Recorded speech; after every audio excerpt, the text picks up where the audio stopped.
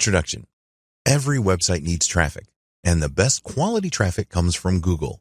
Google users enter keywords, search terms, to find what they are looking for, and if your page appears in the search results, then you have the best targeted traffic. Getting traffic from Google starts with keyword research. You need to know what terms Google users enter and the amount of search volume you can expect each month. It is also important to know the SEO competition of the keywords you discover. You need to optimize your content for the keywords you want to get Google traffic from. This training will show you how to do that and other ways that you can obtain Google traffic. Follow the advice in this training and you will increase the amount of Google traffic that you get every day.